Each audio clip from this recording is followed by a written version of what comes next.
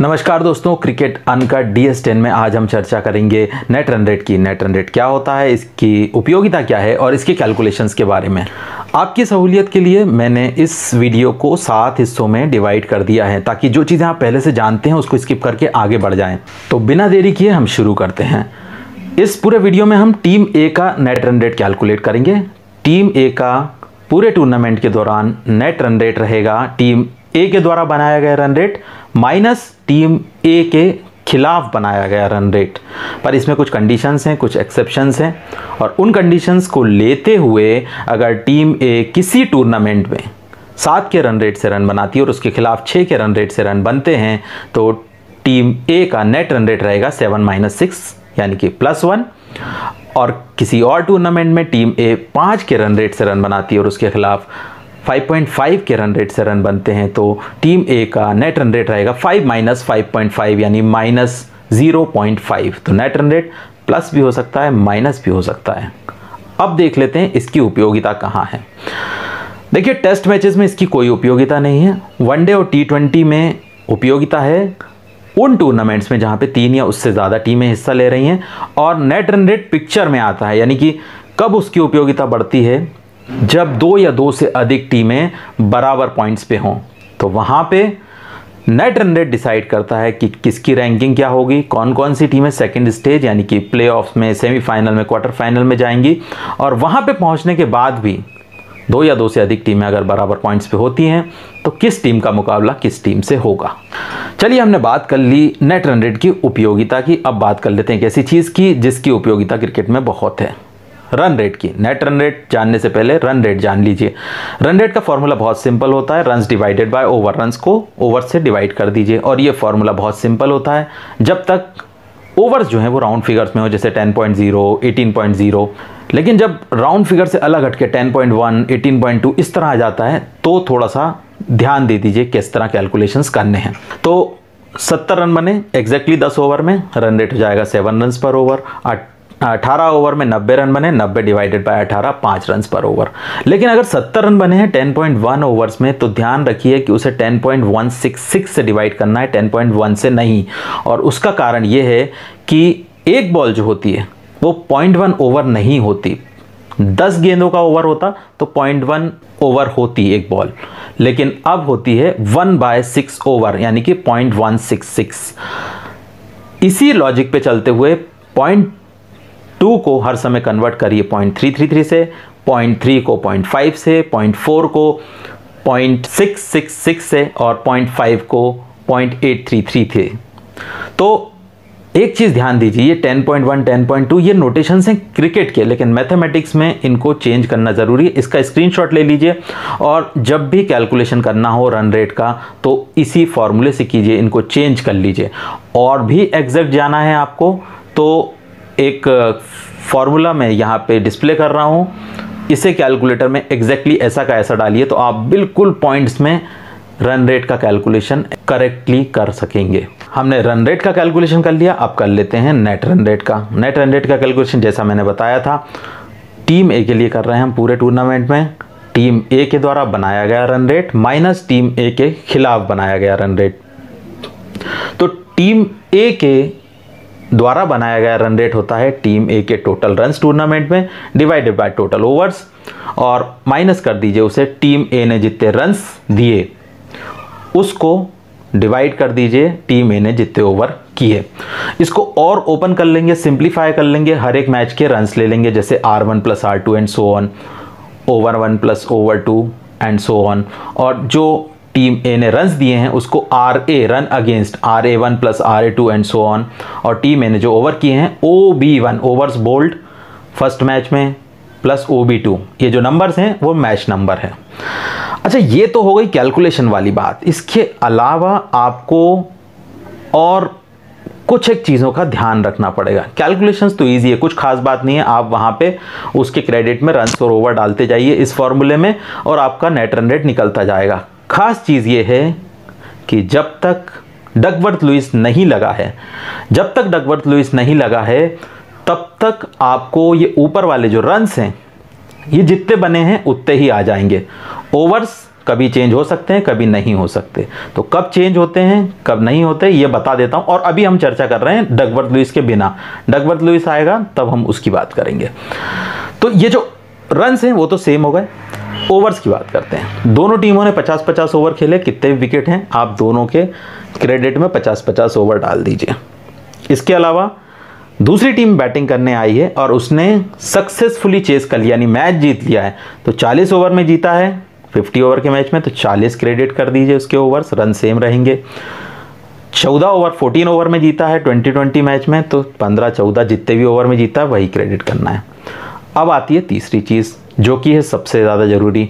और वो चीज़ ये है कि पहली बैटिंग आई है, दूसरी बैटिंग आई है, जीत हुई है, हार हुई है या टाई हुआ है। सभी सिचुएशंस में अगर टीम ऑल आउट होती है तो जितने ओवर का वो मैच है, उतने ही ओवर क्रेडिट करना है। 50 ओवर का मैच है तो 50 ओवर क्रेडिट कीजिए। 20 ओवर का मैच है तो 20 ओवर क्रेडिट कीजिए। जैसे कोई टीम फोर्टीन ओवर में आउट हो जाती है ऑल आउट हो जाती है तो वहाँ पे हमें 20 ओवर क्रेडिट करना है। और उसी तरह वनडे में अगर कोई टीम 40 ओवर में ऑल आउट हो जाती है तो वहाँ पे हमें 50 ओवर्स क्रेडिट करना है। ये ही एकमात्र रूल है जो सबसे ज़्यादा ज़रूरी है। इसके अलावा भी अगर कोई सिचुएशंस होंगी तो वो एग्जांपल्स के साथ हम लेते जाएँगे। डकवर्थ लुइस की चर्चा तब करेंगे जब उसकी एग्जांपल्स लेंगे। और अब हम शुरू करते हैं एग्जांपल्स यहाँ पे हम टीम ए का एक टूर्नामेंट के दौरान नेट रन रेट कैलकुलेट करेंगे, उसमें सारी सिचुएशंस को ले लेंगे। टीम ए हमारी टीम रहेगी जिसका हम run rate, net run rate calculate करना है और टीम ओ अपोजिशन टीम रहेगी जो कि बदलती रहेंगी। टीम वन पहले बैटिंग करने वाली टीम है और टीम टू दूसरी बैटिंग करने वाली टीम है। तो चलिए, टीम ए पहला मैच खेलती है, पहले बैटिंग करती है और 250 रन्स बनाती है 50 ओवर्स में और टीम ओ जो है वो 251 रन बना के मैच जीत जाती है, लेकिन केवल 40 ओवर में। तो टीम ए जो है उसके हमें सेम टू सेम रन और ओवर लेने हैं।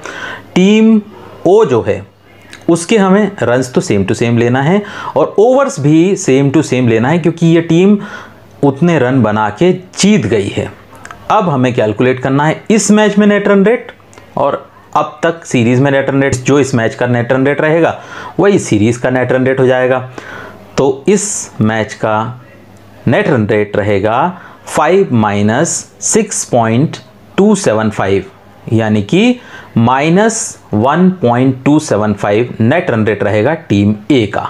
एक चीज़ बता देता हूँ, अभी आप कैलकुलेशन में बहुत ज़्यादा मत उलझिए। सिर्फ़ आप ये देखिए कि रन्स और ओवर कितने क्रेडिट हो रहे हैं। डकवर्थ लुइस नहीं लगाए तो रन्स तो सेम रहेंगे। ओवर्स में खास तौर पे देख लीजिए। दूसरा मैच आता है टीम ए की फिर से पहली बैटिंग आती है, वो 350 रन्स बनाती है। 50 ओवर्स में और इसके जवाब में टीम ओ बनाती है 300 रन 45 ओवर में और ऑल आउट हो जाती है। तो अब देखिए, यहाँ पे ऑल आउट हो गया तो यहाँ पे जो 45 है, इसको 50 कर लेना है। बाकी सारी चीज़ें सेम रहेंगी, यानी टीम ए के ओवर्स और run same to same credit कर दीजिए। टीम ओ के रन्स वो भी सेम टू सेम क्रेडिट कर दीजिए, बस 45 को 50 में चेंज कर लीजिए। इस मैच का net run rate team A के लिए रहेगा प्लस वन लेकिन इस चीज़ का कोई महत्व नहीं है। इंडिविजुअल मैच का नेट रन रेट का कोई महत्व नहीं है, वो पूरे सीरीज़ में चलता जाता है, उसका महत्व होता है। और सारे कैलकुलेशन आपको स्क्रीन पे दिख रहे हैं, यहाँ पे हमने दोनों मैचों के रन्स ऐड कर लिए, दोनों टीमों के, और ओवर्स देख लिए, ओवर्स को ऐड कर लिया अपोजिशन ने कितने रन बनाए, उनको ऐड कर लिया और अपोजिशंस को कितने ओवर खिलाए गए, वो ऐड कर लिया। और आंसर आ जाता है, दो मैच के बाद नेट रन रेट होता है minus zero point one two two. तो तीसरा मैच बड़ा इंटरेस्टिंग है। तीसरे मैच में जीतने वाली टीम भी ऑल आउट हो गई है। टीम ए ने फिर से पहली बैटिंग की 350 रन्स बनाए 45 ओवर में ऑल आउट हो गई। इसके जवाब में टीम ओ ने 250 रन्स बनाए 35 ओवर्स में वो भी ऑल आउट हो गई। रन्स तो दोनों के सेम टू सेम लेने हैं। ओवर्स दोनों के 35 और 45 ना होते हुए 50 50 ओवर्स क्रेडिट करना है। यहाँ पे हमारे फॉर्मूले में। अब क्या करना है? इस मैच का individual net run rate team A के लिए रहेगा प्लस टू लेकिन उसका कोई खास महत्व नहीं है, मैं बार बार बोल रहा हूँ। लेकिन अब हमें क्या करना है? तीनों मैचों के रन ऐड कर लीजिए। टीम ए के अपोजिशन के ऐड कर लीजिए। ओवर्स कैलकुलेट कर लीजिए प्लस कर लीजिए उनको तो जो आंसर आएगा वो आएगा plus point six one two अब टीम ए का नेट रन रेट हो जाएगा प्लस में plus zero point six one two चलिए अब चौथा मैच ले लेते हैं, चौथा मैच हो गया टाई पहले बैटिंग आई अपोजिशन की टीम ओ की, उसने बनाए 275 रन्स 42 ओवर्स में, जिसके जवाब में 48.5 ओवर में हमारी टीम टीम ए 275 रन बना लिए। अब दोनों टीमों के रन्स तो एग्जैक्टली उतने ही देने पड़ेंगे और ओवर्स हैं, क्योंकि दोनों टीमें ऑल आउट हुई हैं ओवर्स 50-50 कर लीजिए।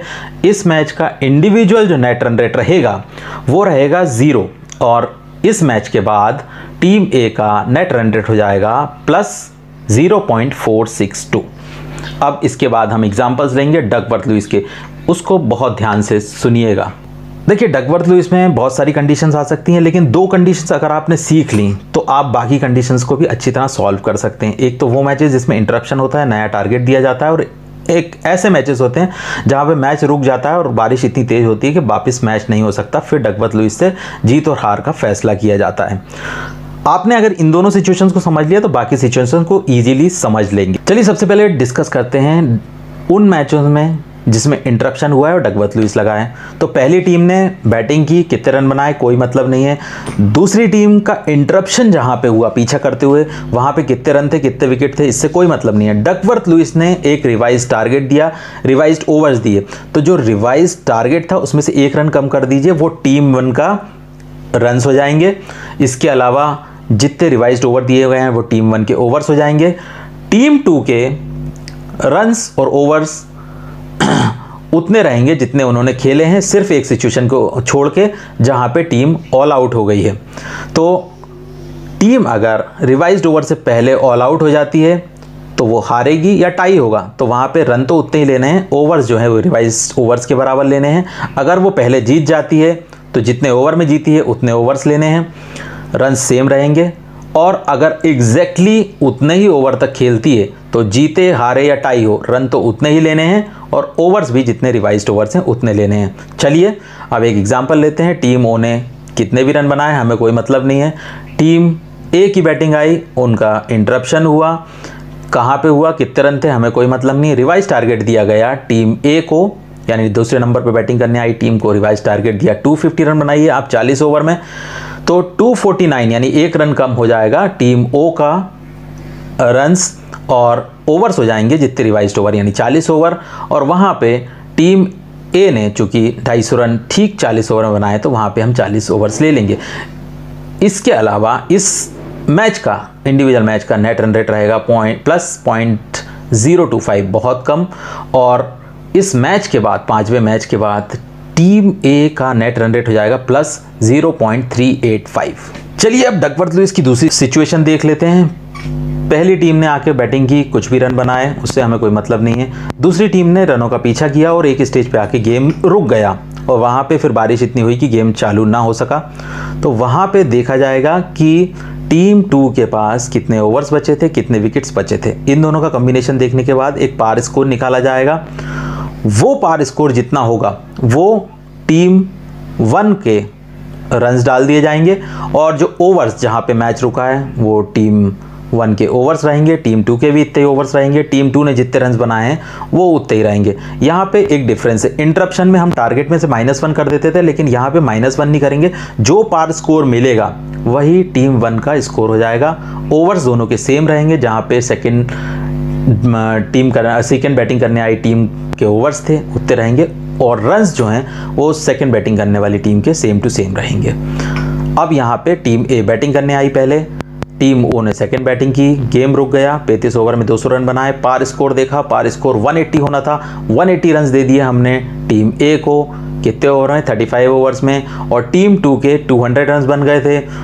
35 ओवर्स में यहाँ पे टीम टू जीत गई। 20 रनों से लेकिन यहाँ पे नेट रन रेट जो उस इंडिविजुअल गेम का था, वो था minus zero point five seven one team A के लिए और इस पूरे टूर्नामेंट में जो नेट रन रेट रहा, वो रहा plus point two six three team A का। तो दोस्तों, ये था वीडियो हमारा नेट रन रेट के ऊपर। अगर कोई सवाल है तो प्लीज़ पूछ लीजिए लाइक शेयर कमेंट करिए और अगर ये वीडियो अच्छा लगा है तो मेरे चैनल को सब्सक्राइब कीजिए।